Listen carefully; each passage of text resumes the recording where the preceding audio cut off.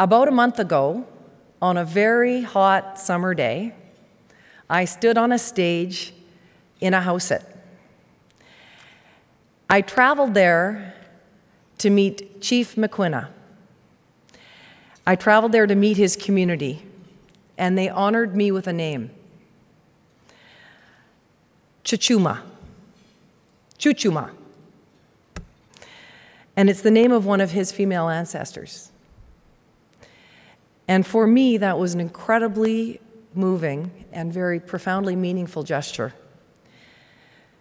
Because not only did I receive a name that meant so much to Chief Maquinna, that was a part of his history, but as I stood on that stage on that sunny day, I saw the sun beaming down and illuminating the beaches of the islands around us, and I imagined that one of those beaches was the beach where my grandfather was born in 1899.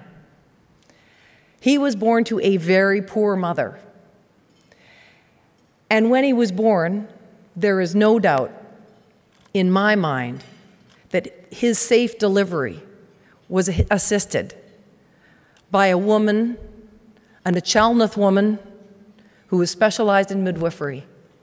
And no doubt in my mind that his brothers had an equally safe entry into the world because of an Ahousaht midwife who made sure they came into the world safe. And then I thought about my grandfather, who was the third non Aboriginal birth registered in the region in 1899, and how he and his brothers Charlie and Eddie learned how to fish and make their living up and down the coast. And I had no doubt that they learned about the waters and where the fish were going to be found from people of the Nuu-chah-nulth Nation. They showed them how to make a living.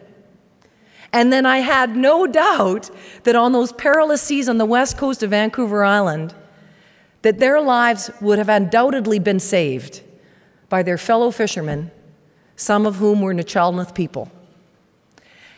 And what I remembered when I thought about all that, and it all went through my mind with the blanket on me, with Maquinna beside me, I realized that the Ahousaht, the Nuu-chah-nulth, could have very easily done without my family being there.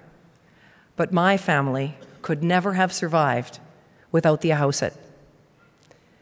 And when I received my name from Chief Maquinna, that is why it had a very special meaning.